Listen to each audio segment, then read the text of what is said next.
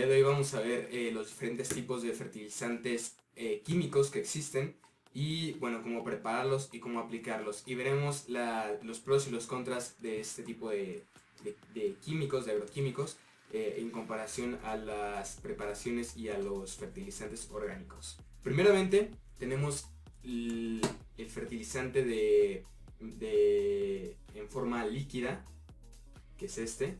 En este caso es de la marca Dynagrow, es Foliage Pro, que es principalmente para el crecimiento foliar, para el crecimiento vegetativo. Esto va más bien cuando las plantas tienden a tener unos 2-3 meses de, crecimiento para acelerar o para maximizar su crecimiento y tener hojas más grandes, hojas más verdes, plantas más altas o, más, o troncos más gruesos.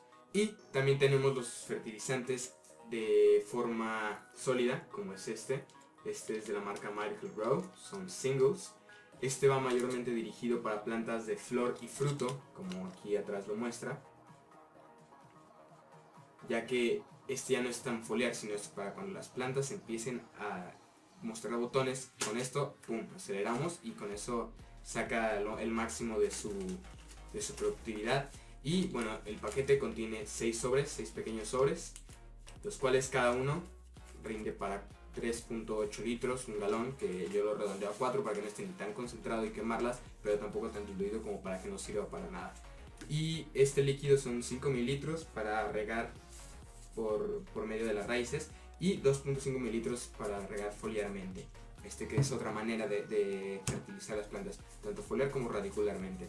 Y bueno, vamos a ver cómo preparamos cada uno, cómo lo aplicamos y las diferencias entre una planta que ha sido fertilizada orgánicamente y una que ha sido fertilizada químicamente.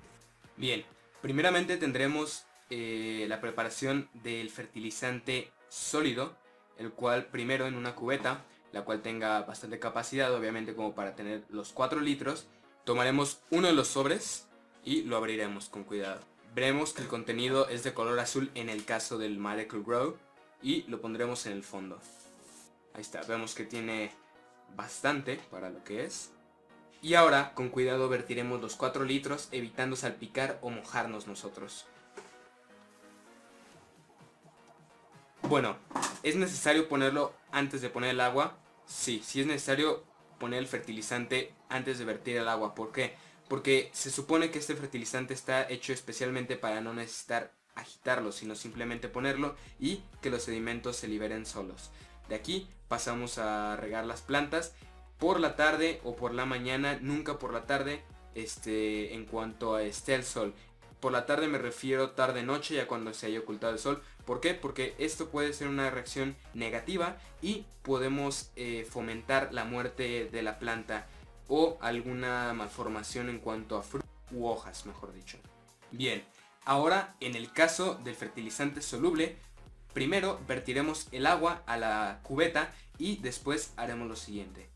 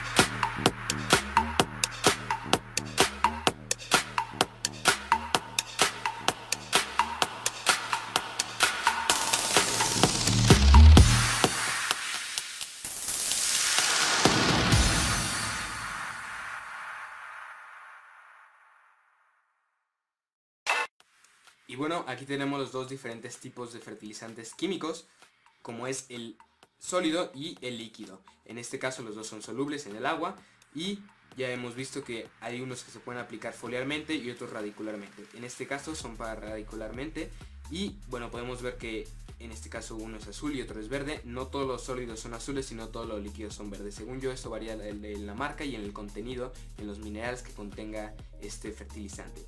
Ahora vamos a ver ventajas, desventajas y diferencias entre marcas y entre tipos, tanto orgánico como químico. Y bueno, aquí tenemos el primer ejemplo en cuanto a Foliage Pro. Esto es una zarzamora. Podemos ver la arbustividad que tiene, podemos ver el intenso verde en sus hojas y la forma tan compacta que tiene este pequeño arbusto. Podemos ver que es totalmente sano. Las hojas, ninguna está deforme, no tienen manchas, no tienen quemaduras. Todo gracias a este fertilizante. Podemos ver cómo maximiza, esto es una sola planta, maximiza al 100 el crecimiento, el crecimiento folicular de las plantas. En este caso es una zarzamora, podría ser en cualquier otra planta, pero bueno, yo lo he aplicado en esta y me ha dado excelentes resultados. Bueno, ahora en el caso del Miracle Grow Singles, lo hemos aplicado en esta planta, que es un chile CAP 215 Capsicum bacatum. Este es una de las especies de bacatum más controversial ya que tiene hojas de Praetermisum, pero son flores blancas de un bacatum. Y bueno, podemos ver en este caso que esta planta lo que le ha hecho es empezar a hacer estas divisiones, las cuales nos presentan pequeños botones de flores, los cuales veremos a continuación. La verdad no sé si se alcancen a distinguir, pero aquí hay uno pequeño, aquí hay otro y aquí en medio hay otro. No se alcancen a distinguir, pero estas plantas por ser silvestres tardan bastante en empezar a mostrar botones, por lo cual nosotros necesitamos darles una pequeña ayudadita con este tipo de fertilizantes. Aunque se podría hacer perfectamente con potasio, pero repito, yo tengo una gran cantidad de plantas, así que no puedo estar preparando litros y litros y litros de esta infusión todos los días, ya que estas plantas al empezar a mostrar botones ocupan una gran cantidad de potasio y otros minerales esenciales para la floración. Tenemos la pequeña comparación entre la fertilización química y la fertilización orgánica. Obviamente en los, eh, los que conozcan de estos capsicum silvestres saben que no podemos tener en comparación a dos especies totalmente distintas como son Bacatum con Anum. Pero en este caso podemos ver principalmente porque los dos tienen la misma edad. Las dos nacieron exactamente el mismo día, a lo mejor no la misma hora, pero el mismo día y eso es lo que cuenta en estas germinaciones.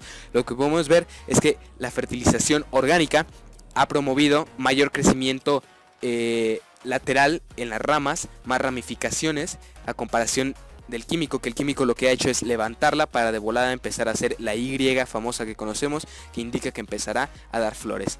Y bueno, a mí me gustan mucho este tipo de plantas que son arbustivas, así que a mi conveniencia, si yo quisiera en cuanto a lo arbustivo, me iría más por, el por la fertilización orgánica, pero si quisiera rapidez en, en floración y fructificación, me iría por la química.